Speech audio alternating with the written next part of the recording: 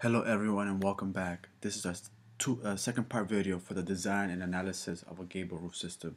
In our last video, we were able to find the dead load that the gable roof is going to see and we were also able to find the snow load that the gable roof is going to see. Now the snow load is going to depend on where you live. So just keep that in mind. And not only that, but depending where you live, maybe the snow load does not go govern um, so much. Maybe it's just the roof live load that will govern like construction loads and stuff like that. So let's keep that in mind. But for this uh, example, we're in New England. We get a lot of snow, and our snow load here is 24.5 pounds square feet, and then our dead load is 10 pounds square feet. So uh, let me just write that down over here. So what we're going to be doing now for this video is we're going to be finding the maximum moment, maximum shear, and we're going to size the rafters so it could withstand the anticipated loads. So let's do that right now. So what we need to know is the spacing between the rafters. The rafters are spaced at 16 inches on center, or if you convert that into feet, that is 1.33 feet. So that is a the spacing between the rafters, and then with that we're able to multiply that by the dead load, pound square feet, and the snow load uh, to get our uniform linear load. So in order to do that, just I mean it's very simple. I don't even know why I said that. In order to do that, you just multiply those two together. So our uniform dead load is gonna be uh, 10 times 1.33. You get 13.33 pounds linear feet, and then for snow it's gonna be 24.5 times 1.33. You multiply those two together, you're going to get uh, 32.6 pounds linear feet. Now, I want to add these two together, but I can't uh, because the dead load is at a uh, is at a diagonal projection.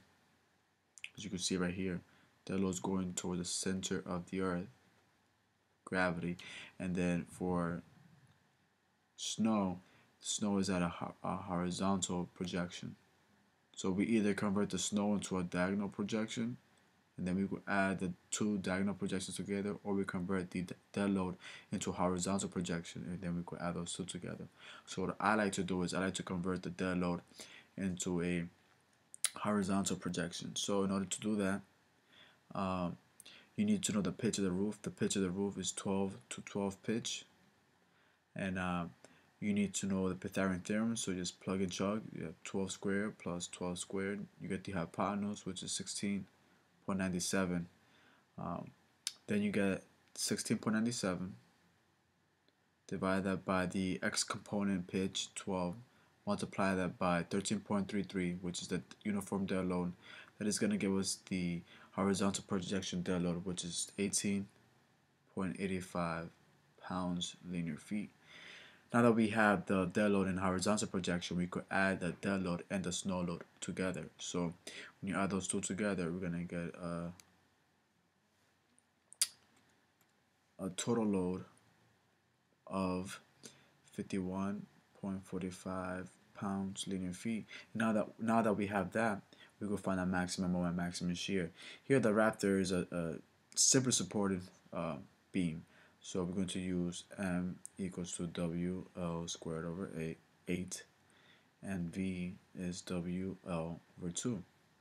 Uh, the length here is going to be, because it's a horizontal projection, is going to be 12. It's close to 12. So that length is 12 feet. So just plug in the numbers in to the equation and just you know just get the maximum moment maximum shear very very quick thing to do So in the end, the maximum shear here is going to be 308.7 pounds. And then the maximum moment here is going to be 926 pounds feet. So we have a maximum and maximum shear. Uh, now, now that we have that, we need to find uh, the raft uh, uh, adequate size for the for the rafters. In order to do, to do that, you need to know the species in which we do know the species, the Douglas fir larch number two. We need to get the design values for that for that which is in the NDS supplement table uh, 4A for visually graded dimension lumber 2 to 4 uh, inches thick. If you're using something like a timber you have to use a, a different table for that. So in this case we're using Douglas fir larch number 2 our bending FB is 900 uh, psi. And then uh, for FV, which is going to be our shear parallel to grain, is 180 psi. Uh, I messed up there. Now we could adjust. There's adjustment factors that we could use, um, and um, you'll see. And just keep that in mind. This is FB is 900 and FV is 180. These are adjustment factors that we could use. So for the bending stress, we could. I mean, I'm using ASD. We could uh, use a load duration factor CD, um, and in this case, we have two months snow load 1.15. So we can use that. For the wet surface factor, uh, it's in dry conditions, so that's one. The temperature factor, it's normal temperature, so that's one.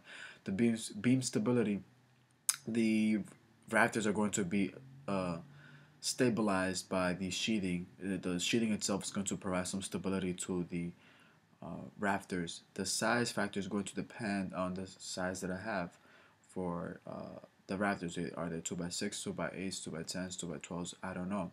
So depending on the size of the rafters, it's going to determine the size factor here. So we'll leave that for later. Flat use factor, we're not using that, so that's negligible right now. And then the sizing factor, we're not incising. We're not. It's not pressure treated. It's not being incised. So um, this is one as well.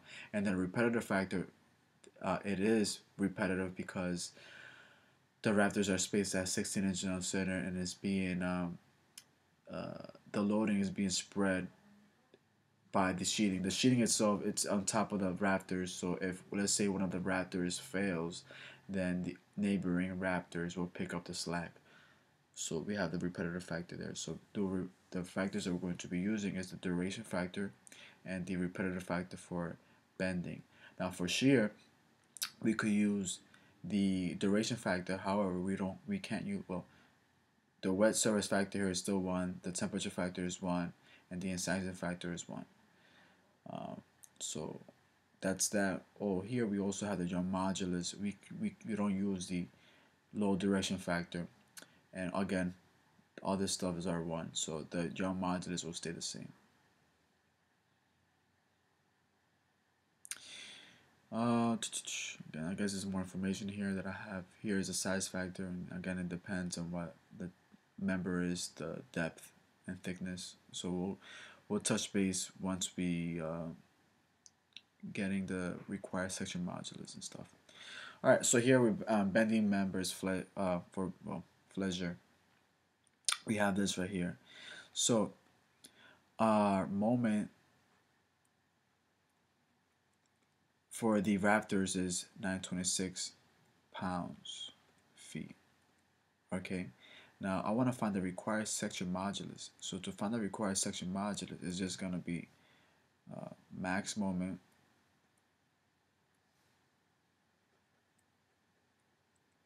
divided by the bending stress prime.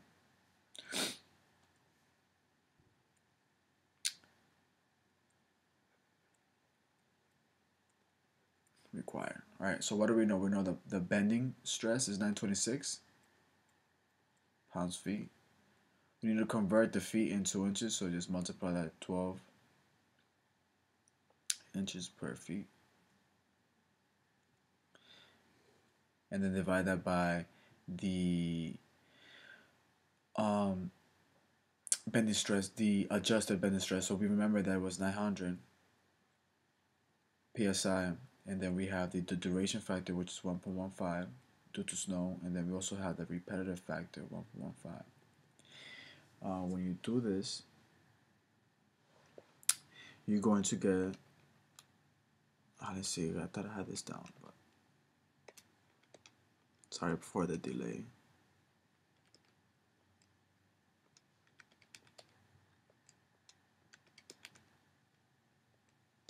You need nine point three three five inches cubed for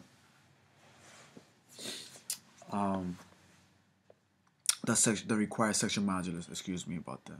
Had a brain fart. So yeah, so you know the the required section modulus is nine point three three five, which is good. Now, uh, let's find the required area that we need. And I, I, I'm sure the shear is not uh, not controlling here, but the required area is going to be the equation is uh, 3v over 2 times f v prime. So we have 3. Now this is all, all, only work for something that is square or rectangular. If it's uh, like an I-joist or something uh, with a different different shape, then this will not be, you can't use this equation. So this is 308.7 divided by 2 times 180 times 1.15 and again this is the duration factor here. So the required area that we need is 2.23 inches squared. So look at so let's say we have here uh, let's say we have a 2 by 6 we have 2 by 8 we have 2 by 10s we have 2 by 12s area section modulus. So I think even the 2x6 has enough capacity when it comes to uh, shear. I mean the area here for 2x6 is 1.5 times 5.5 which is 8.25.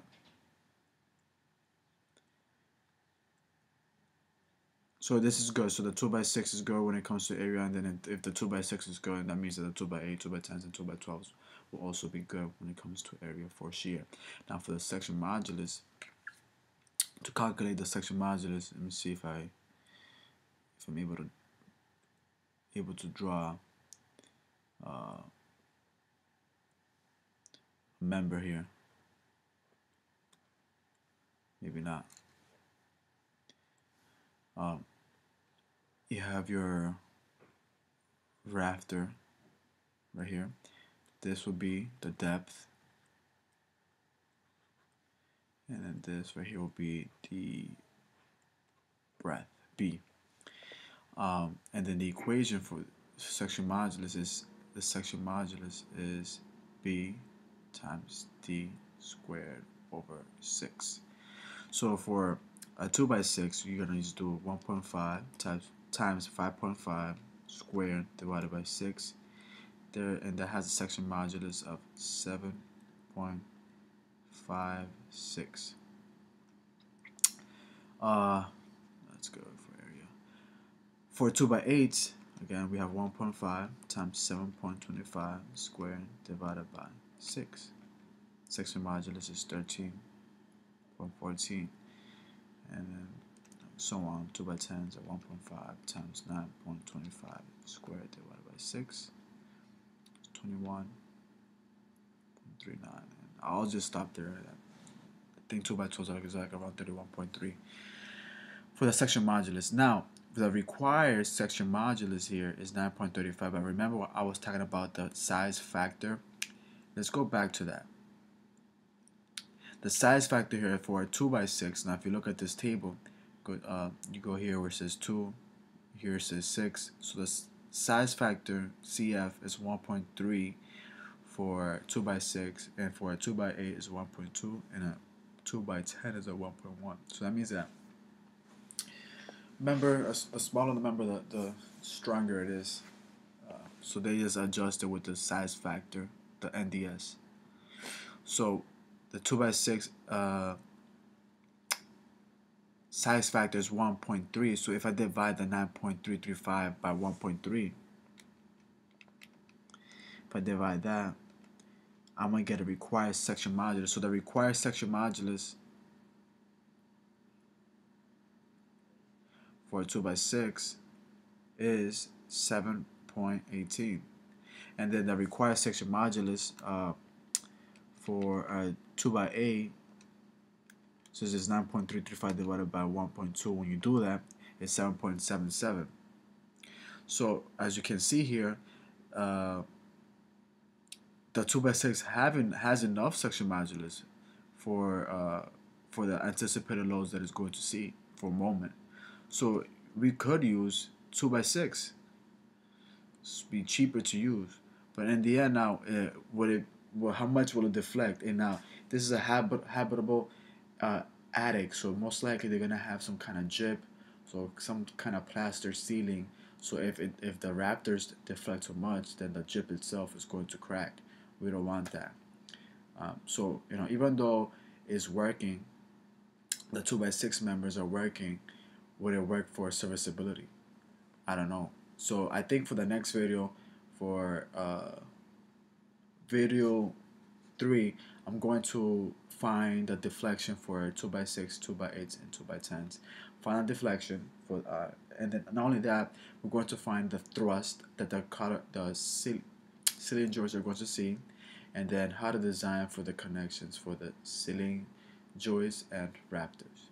So again, um, thank you. I hope this was helpful. Uh, again, if you have any questions, is please leave a comment down, um, and I'll do my best to answer the questions. Thank you, and have a great day. Bye bye.